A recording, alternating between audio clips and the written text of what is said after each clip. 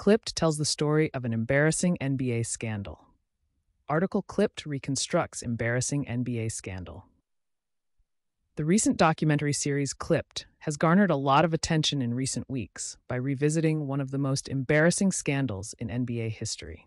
The scandal, which occurred in 2014, revolved around the then owner of the Los Angeles Clippers, Donald Sterling, and his racist remarks. This series not only examines the events that led to the scandal, but also offers a deeper analysis of the social and cultural implications that resulted from it. This is a significant work that has a lot to offer to anyone interested in basketball and history.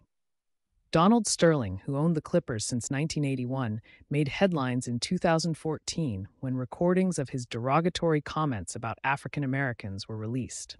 In a conversation with his then girlfriend, V. Stiviano, Sterling expressed displeasure that she was sharing photos with African American personalities, including NBA legend Magic Johnson, on social media.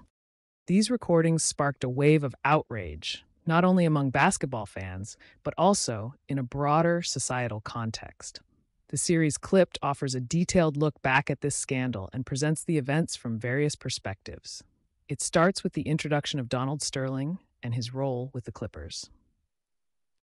This will not only reveal his business successes, but also his often controversial behavior. The series also depicts the rise of the Clippers, a team that has long been in the shadow of the glamorous Los Angeles Lakers. At the center of the series are the events surrounding the release of the recordings and the immediate reactions to them. In the days following the release of the recordings, public outcry led to swift action by the NBA.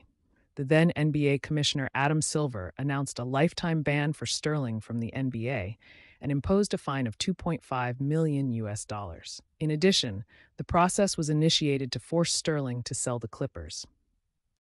Brian Shaw, a basketball analyst and former NBA player, describes the atmosphere at that time as toxic and deeply disturbing for the entire NBA community. Another noteworthy element of Clipped is the discussion about the societal impact of the scandal. Experts, historians, and even former players weigh in on racism in professional sports and the challenges associated with it.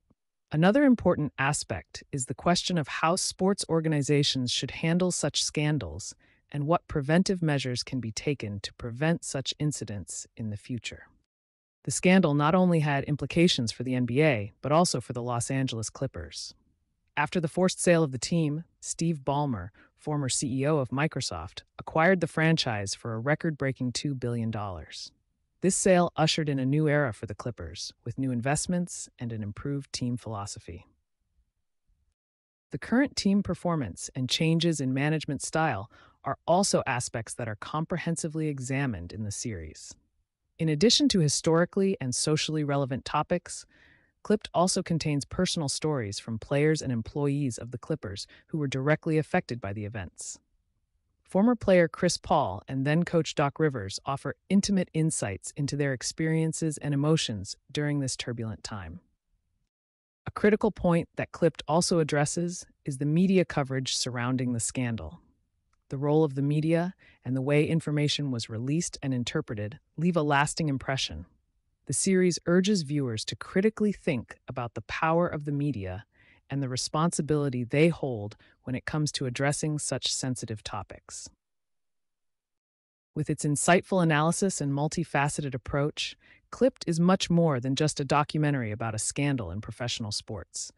It is a significant work that critically questions racism, power, and the role of the media. It offers valuable insights not only for sports fans, but for anyone interested in social justice and societal change. Author Anita Falk, Wednesday, June 5th, 24.